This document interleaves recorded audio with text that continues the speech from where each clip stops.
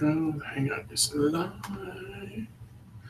Hi, everybody. It's Wednesday. It's 12 o'clock, so it's time for the Bizzy Webinar. My name is Trygve. I'm the Director of Buzz Development here at BizzyWeb.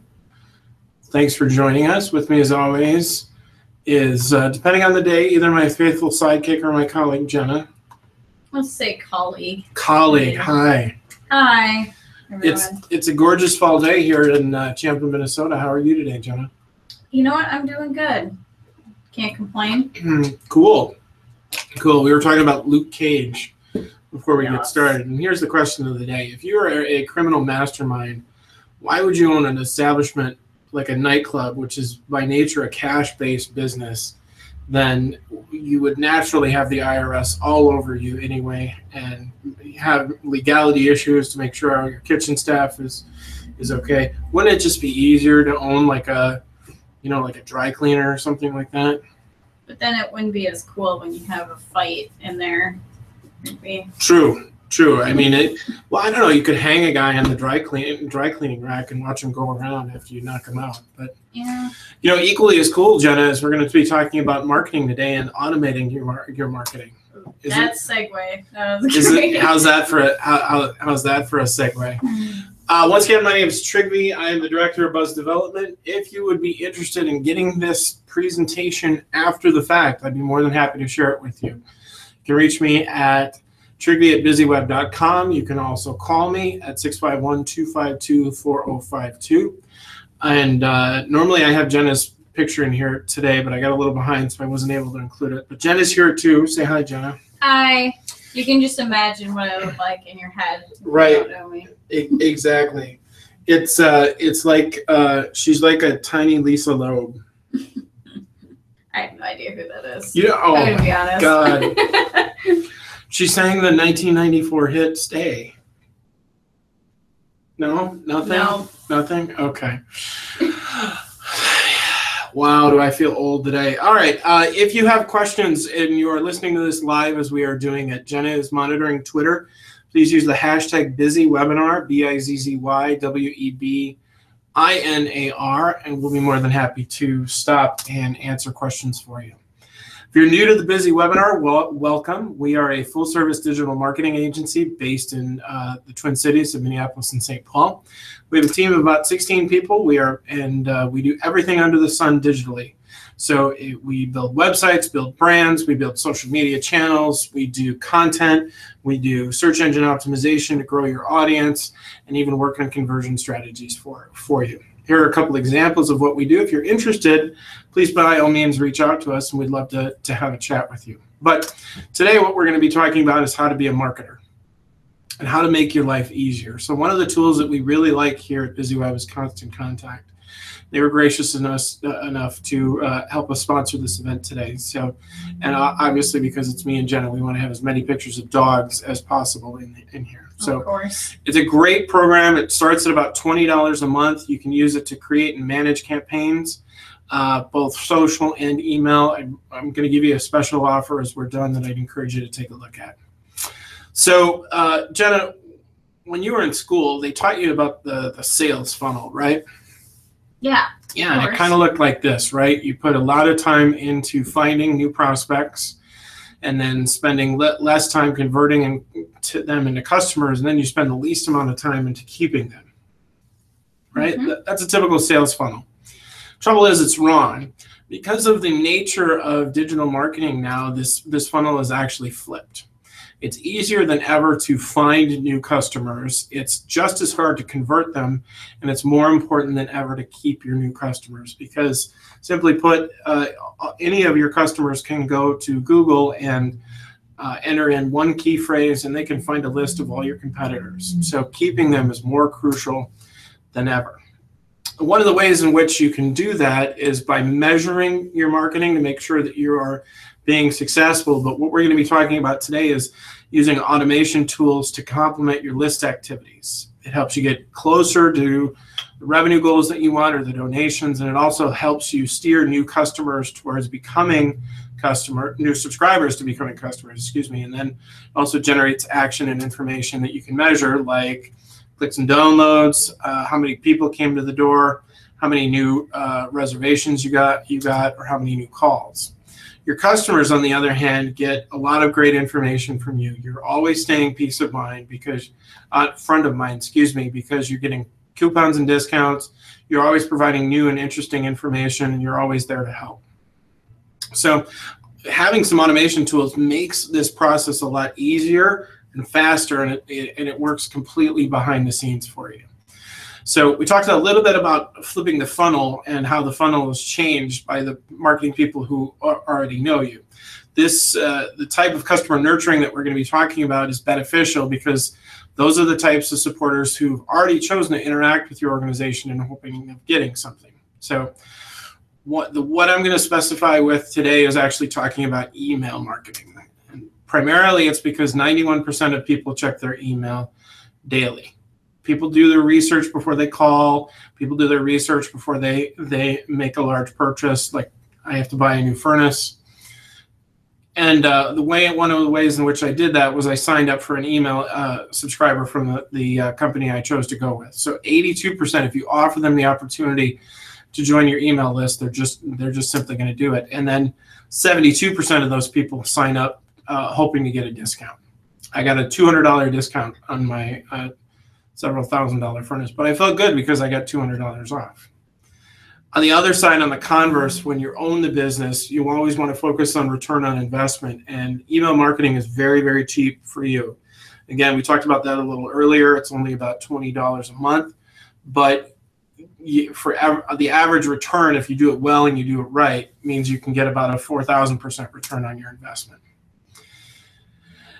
And here's the punchline. Email marketing gives you a three times higher conversion rate than social media. So that mean what does that mean in English? It means you can get a customer three times faster using email than you can on social media marketing. So I, I always have a hard time learning something new, especially when I'm with somebody who's so much smarter than I am, like I am today with Jena. So uh, I want to make sure that I, I, I, list what the jargon is that I'm going to be talking about and uh, what exactly it, uh, it, it in fact means. So when I say autoresponder, what I mean by that is any kind of pre-designed automated email. Date-based triggers or something that go out on a specific day.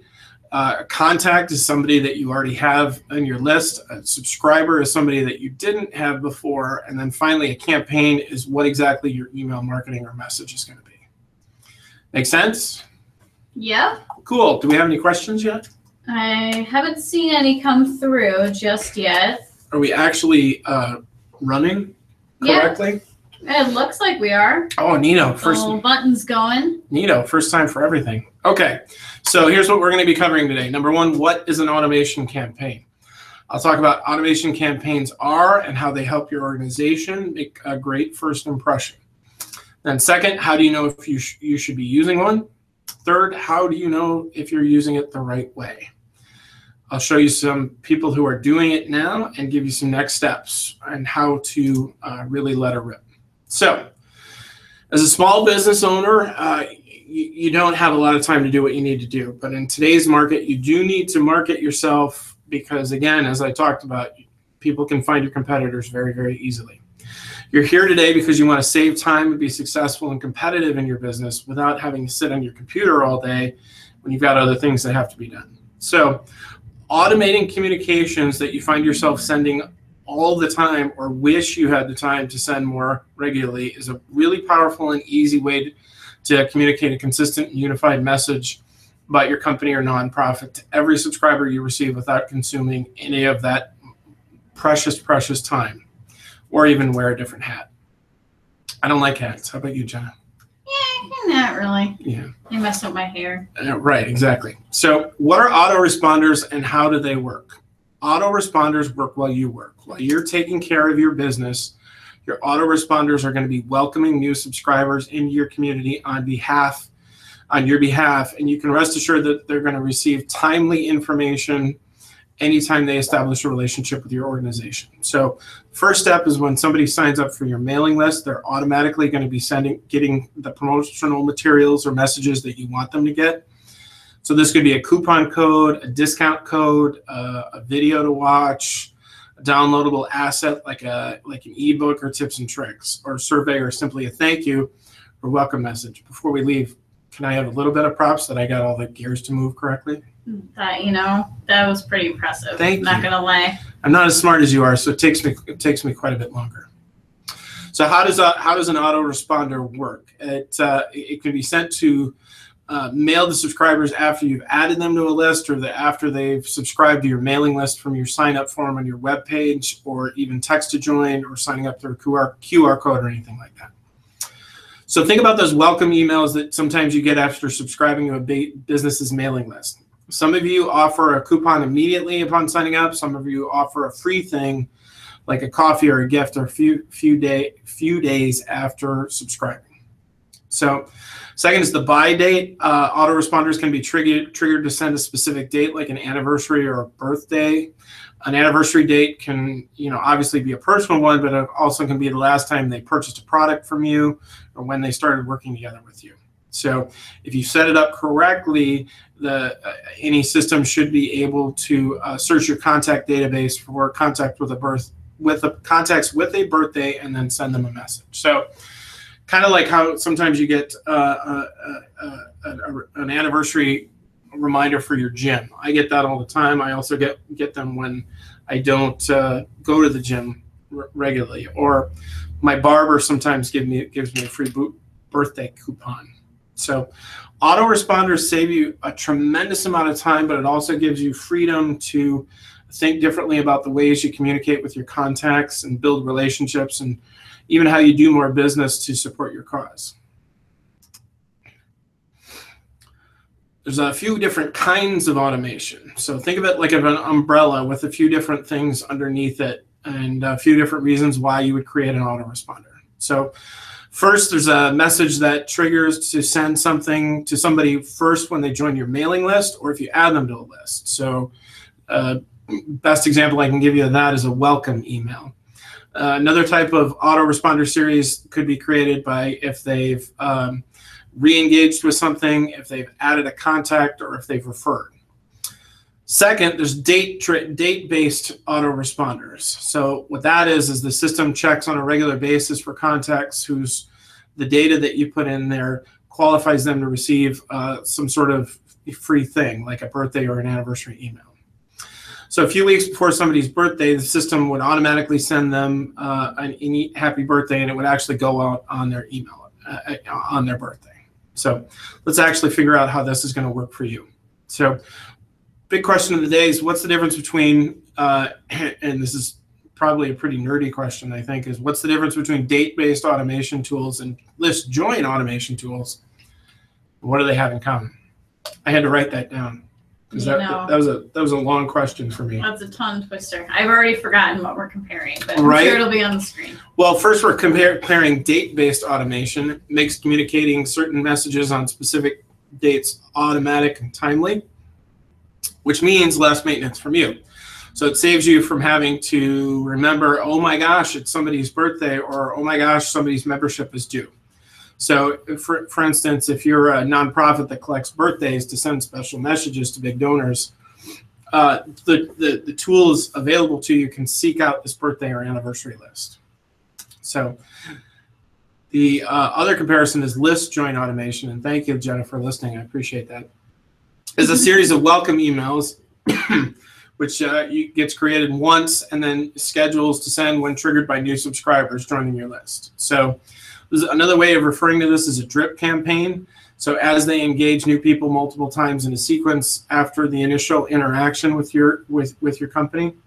So really, what it's meant to do is drive a specific action to get the new subscriber to do.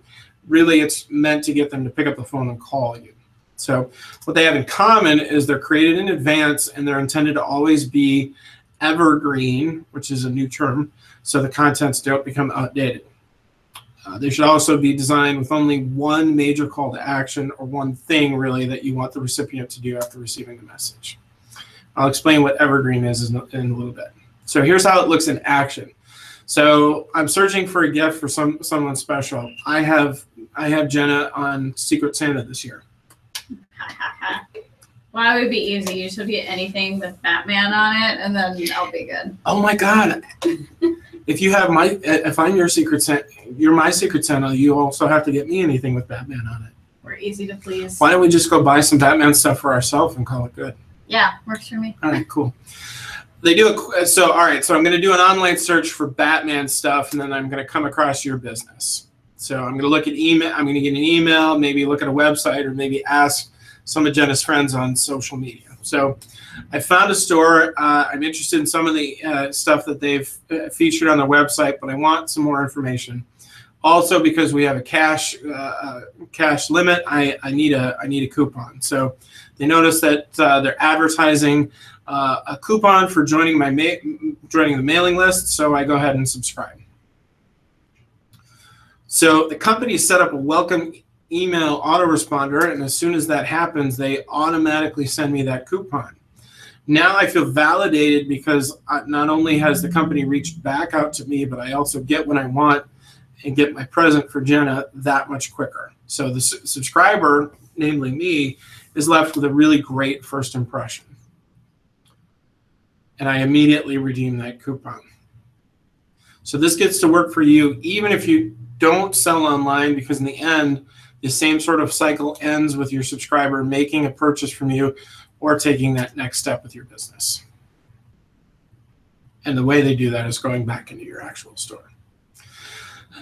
So, how do we know if we should use one? Before we start, I'll ask uh, if any of you out there are using the hashtag bizzy webinar to ask us questions in real time. Does, do we have any questions yet, Jena?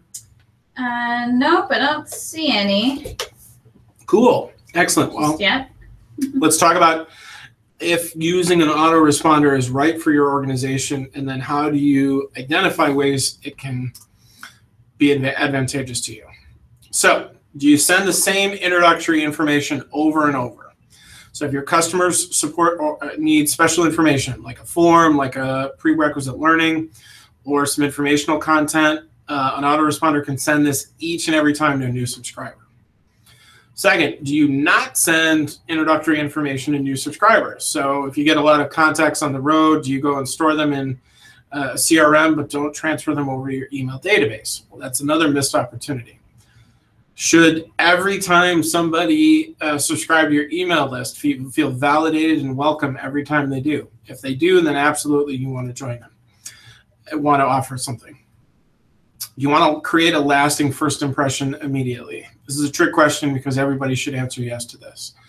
Do you have specialized sub audiences with varying interests? That's a fancy way of saying, do you do more than one thing for your audience? If you do, then absolutely you should be doing this. Do you want to send annual reminders? Maybe yes, maybe no. Certainly, if you can celebrate a customer's birthday, that's a fantastic way of uh, answering yes to the question is an autoresponder right for you?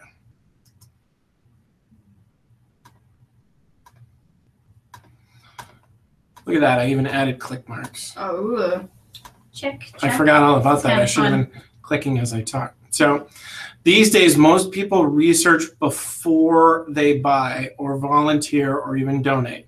People are more discerning about committing time or money to something, and they're expecting to receive specific information about where their money's going in a very timely manner. So these the me- autoresponder messages help them formulate a quick impression of your business with the initial email they receive from you. So you want to make sure that you're steering that impression to the positive by li- delivering what they need immediately. So again, if you have the opportunity, uh, anytime a new subscriber is going to get an email, statistically speaking, about 60% of the time, they're going to open that more than more than not.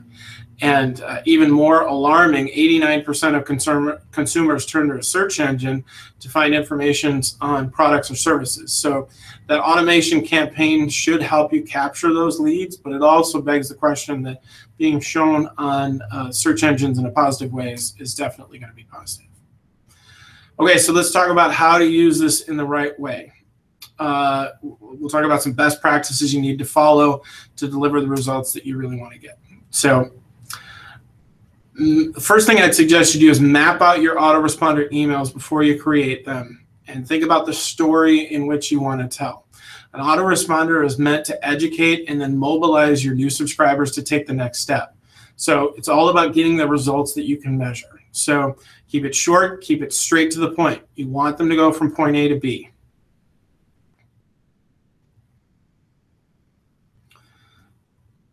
There's no extra fluff here. Make sure that the call to action buttons, the links, the videos, all of it are directing a subscriber to go directly to your online program or come into your store. If you want them to donate, sign up to volunteer, or even visit your shopping page, make that the most prominent message that you're offering.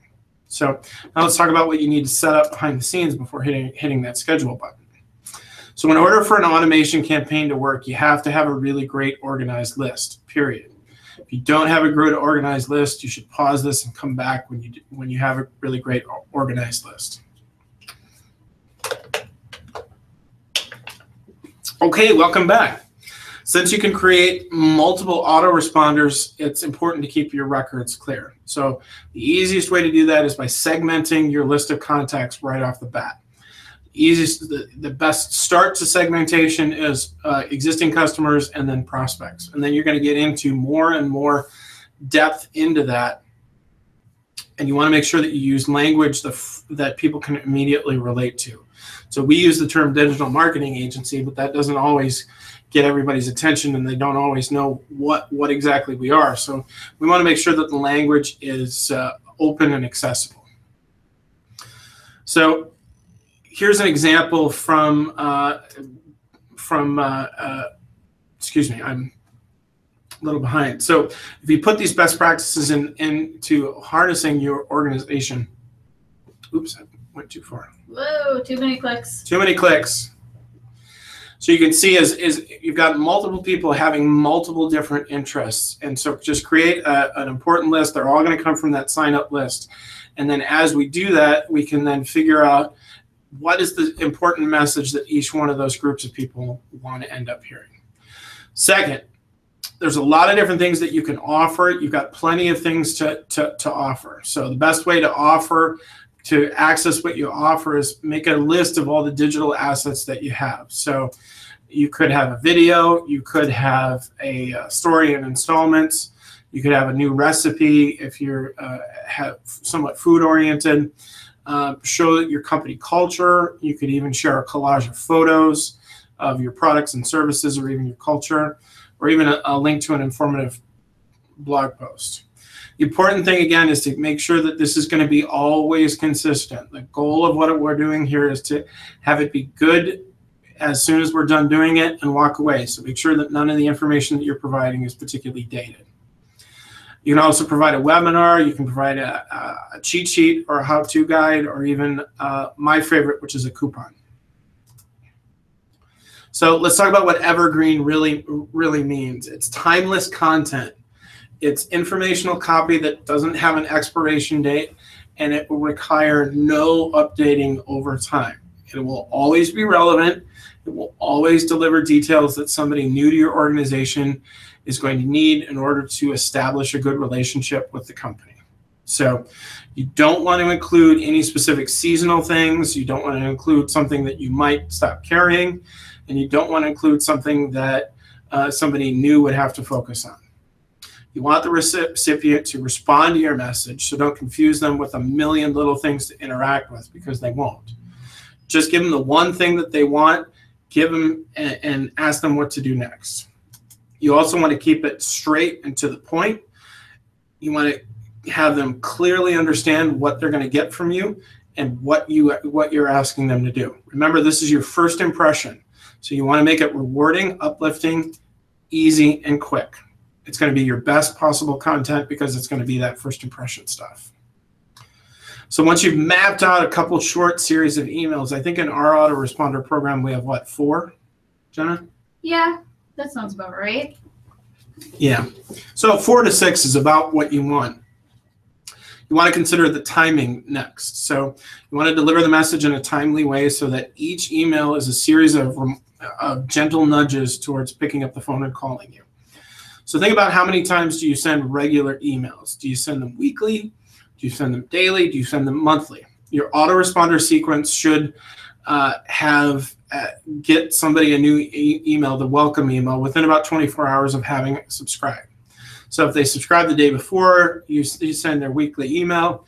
they're already going to have some context. You send once a month, then with your autoresponder series, spread their welcome emails out. Do one or two a week to stay top of mind, but not so many that they're going to be uh, bothered by you. Do you send bi-weekly? If you do that, then uh, schedule your autoresponder a day or two apart to introduce uh, your new subscriber to your, you know, air quote club so they get used to the information that they're getting. So when the big club comes, which is your newsletter or one of your regular ma- mailings come, they're going to be feeling part of the community or more comfortable with your brand. Or if you just do it occasionally, that's fine. Just make sure that your autoresponder is in a consistent way. Best way to do that is about once a week. So let's look at uh, how this would actually uh, works in real time. So I've got a couple of different examples here. The B2B example, it's uh, it's got their logo involved. It's a very short, pointed email, and it, it's got a picture of who you're dealing with, so you immediately put a face to the name. It stops being a uh, an, a uh, company versus you. Now you're really talking to, to uh, just just one person. So nonprofits again, that, that that's kind of short as well. It's it, but it's clear, it's fun, it's interesting, and it clearly all three of these clearly let you know what you're going to be getting.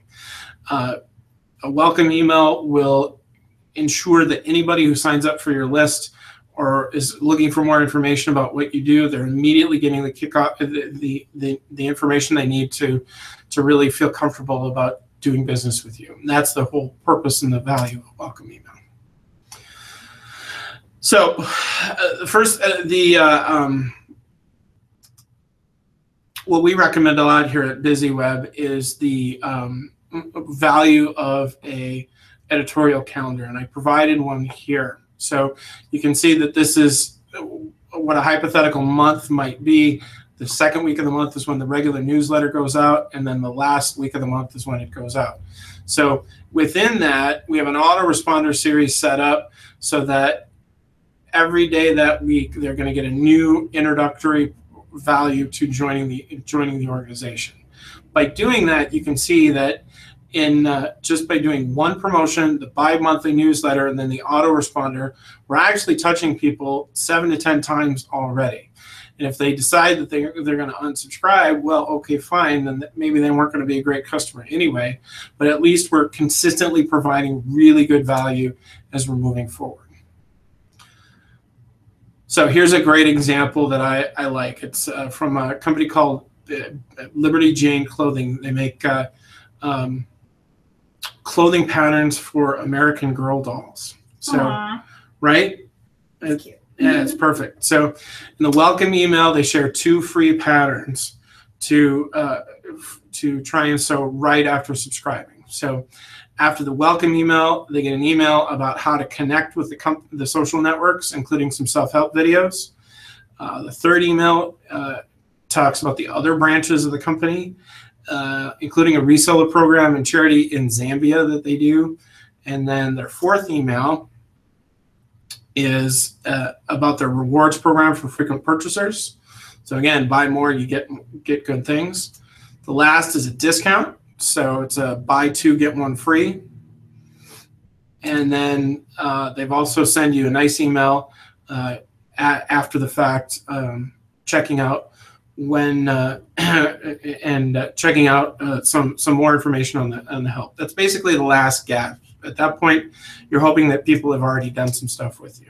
So Here's another example from uh, a B2B company. It's called Building Aspirations. So he does something a little different. He spreads out, out his digital assets quite a bit. So when somebody initially just subscribes, he tells them what he's going to be sending out and then what they can expect to learn from the digital videos that he's sending. So for him, it works really well because he stretches his assets out over a long period of time. So let's look at a portion of what that looks like, specifically this portion right here. So he starts with a welcome email. I showed it to you before. Then he sends some content out. He's clearly saying that it's going to be video, and it, there's only one or two, so you're not confused as to which one you want want to to watch. And then the next one comes a few days apart. So again, it's a couple videos, but it's slow and steady, and it clearly demonstrates that he is a thought leader in in what he does. So let's look at one last one. Let's look at a, uh, a, uh nonprofit. This is a this is a hypothetical uh, company called the Leafline Project, and again, they spread out their uh, their their their stuff over a few weeks. So let's look at what exactly that looks like. So the welcome email, the company thanks the subscribers. It's nice, it's branded, it's clear, it's even got a video in it. The next email provides a completely different video on what the mission of the organization is. Next, they provide uh, more information about their operations and how to volunteer with the organization. Next, they are uh, providing an email on how to connect via Facebook. And then uh, finally, they're asking for a donation. So again, before they're really asking for money, you're getting a lot of pieces of content and you're learning and evaluating as you go. So there's no really wrong way to set up an automated series other than not doing it at all because doing it gives you the opportunity to connect, connect with new customers and have new customers bubble up to the surface before you do anything. So here's some do's and don'ts. So uh, do make sure that they uh, you remind them that they did subscribe and show them how to clearly unsubscribe. Don't uh, not do that. Uh, second, make sure that you're letting them know how many emails they should expect from you. The worst thing in the world you can do is just start emailing people pell mell because they're going to be wondering what you're doing for a living and why you're bothering them. You do want to make sure that you're sending an email immediately after joining. It's a fantastic thing to do. Uh, but the the converse of that is that if your content is dated, then that's just going to cause you problems. Next, you want to make sure that you share any sort of thank you that you can, either either an initial th- uh, email or after doing business with you.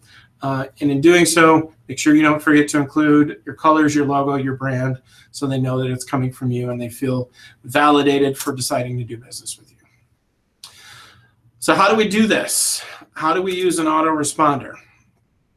Well, uh, and should we do this? Well, the first thing I'd suggest you do is determine whether or not how, how it could be used for you.